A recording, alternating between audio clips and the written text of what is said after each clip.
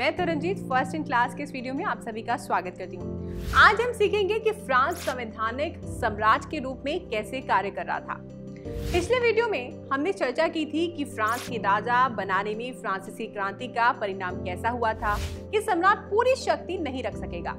आज हम जिन विषयों पर ध्यान केंद्रित करेंगे, वे हैं, फ्रांस ने कौन सा एक संवैधानिक राजतंत्र बनाया था?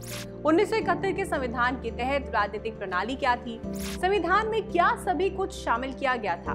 नेशनल असेंबली सत्रह सौ अठानवे में बनाई गई थी और राजा द्वारा राजशासी की शक्तियों को सीमित करने का निर्णय लेते ही उन्होंने संविधान पर काम करना शुरू कर दिया था। सत्रह में संविधान का मसौदा आखिरकार पूरा हुआ। और इसका सीधा मुख्य उद्देश्य सम्राट की शक्तियों को सीमित करना था।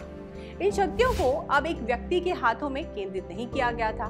वे अब अलग हो गए थे और विभिन्न संस्थानों इनके विधायी कार्यकारी और न्यायपालिका को सौंपा गया था।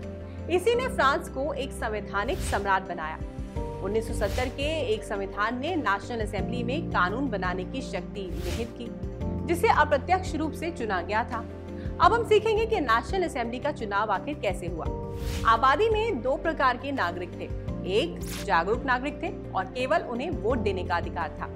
ये केवल ऐसे पुरुष थे जो 25 वर्ष से अधिक आयु के थे, जिन्होंने एक मजदूर के, मजदूरी के कम से कम तीन दिनों के बराबर करों का भुगतान किया था। ये सक्रिय नागरिक 28 मिलियन की आबादी के लगभग 4 मिलियन थे। शेष पुरुषों और महिलाओं को निष्क्रिय नागरिक के रूप में वर्गीकृत किया गया था। जिनके पास वोट देने का अधिकार नहीं था। फिर इन जागरूक नागरिकों ने निर्वाचकों को चुना, जिनकी संख्या चार मिलियन में से लगभग पचास हज़ार थी। और फिर इन मतदाताओं ने एक राष्ट्रीय सभा के लिए मतदान किया, जिसमें 745 सदस्यों का गठन किया गया था और जिसमें राजा और मंत्रियों दोनों को नियंत्रित करने की शक्ति थी। हर कोई केवल मतदाता और विधानसभा का सदस्य नहीं हो सकता है। जो करदाताओं के उच्चतम वर्ग से संबंधित है।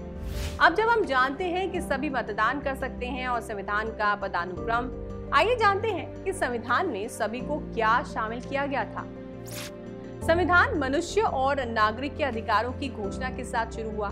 जीवन के अधिकार, बोलने की स्वतंत्रता, राय की स्वतंत्रता और कानून के समक्ष समानता जैसे अधिकार प्राकृतिक और अक्षम्य अधिकारों के रूप में स्थापित किए गए थे।